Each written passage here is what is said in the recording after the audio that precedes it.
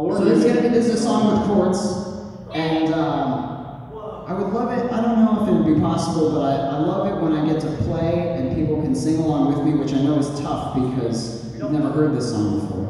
Um, but when I at the end of the song, I repeat the same thing a few times over and over again. Um, not over and over again, like twice. Do you want us to sing the same thing you sing, or do you want Yeah, us if you to could sing the same thing that I sing, Oh, that would be amazing. So I'll, I'll sing it twice, and then if you guys could like maybe jump in a little bit towards the end there and sing some of it with me, The that would be same, the same words.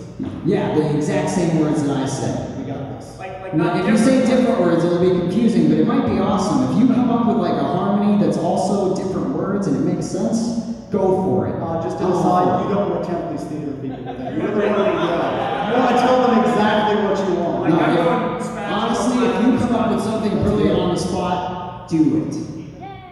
All right. Spatula, what was it again? All right. Uh, if anybody like actually cares, it's in the key of C, but you'll just sing. You'll just sing what you hear.